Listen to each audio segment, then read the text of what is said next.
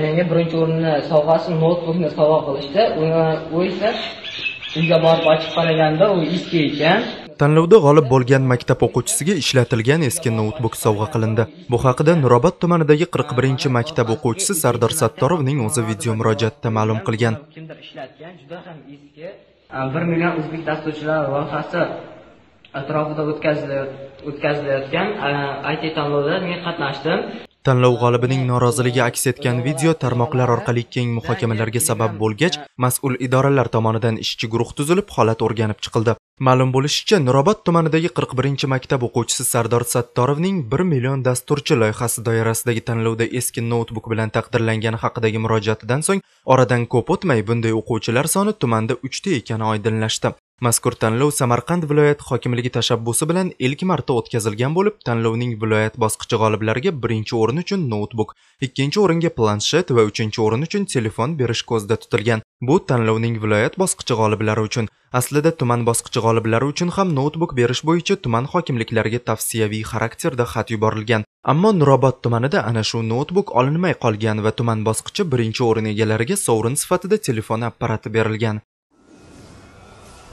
Umuman 1 million dasturchi loyihasi 2019-yilda ishga tushirilgan edi. Loyiha maxsus onlayn portal orqali aholiga masofaviy ta'lim olish imkoniyatini beradi. Loyihadan ko'zlangan asosiy maqsad raqamli texnologiyalar yo'nalishida mutaxassislar avlodini tayyorlash, dasturlash bo'yicha ularga kerakli bilim va ko'nikmalarni berishdir. Shavkat Mirziyoyevning 2019-yili mart oyida Birlashgan Arab Amirliklariga rasmiy tashrifi doirasida bir qator sohalarda, shu jumladan axborot texnologiyalari sohasida ham hamkorlik kelishuvlariga erishildi.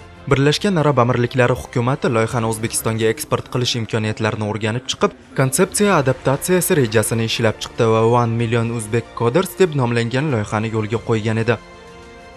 1 million dasturchi loyihasi doirasidagi tanlovda eski noutbuk berilgani yuzasidan tuman matbuot xizmati hokim o'rinbosari Navro'z Jaloliddinovga nisbatan hayfsan intizomiy jazosi qo'llanilgani haqida bildirgan. Sardor Sattorov va u qatorida ishlatilgan noutbuklar hadya etilgan yana 3 nafar g'oliblarga yangi noutbuklar sovg'a qilindi.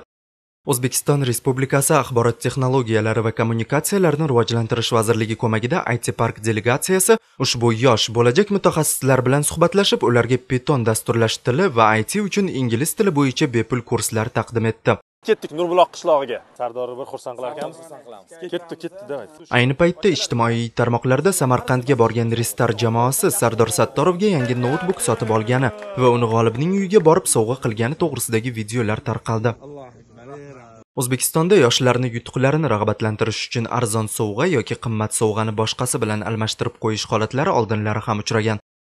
Qoraqalpog'iston davlat universiteti talabasi Kamol Sodiqov 2-7 avgust kunlari bo'lib o'tgan xalqaro matematika olimpiadasida oltin medalni qo'lga kiritgan edi. Uning g'alabasi O'zbekiston davlat mustaqilligining 30 yillik bayramiga tuhfa sifatida taqdim etildi. Iqtidorli matematik Ellikqal'a tumani hokimi tomonidan Artel televizori va tashakkurnoma bilan taqdirlandi.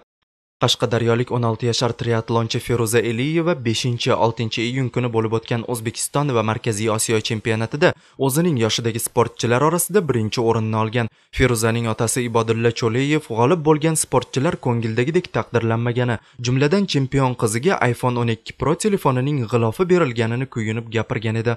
berilguncha sovg'a aytilgan vaqtda iPhone Pro 11 deb e'lon qilinib, iPhone Pro 11 ni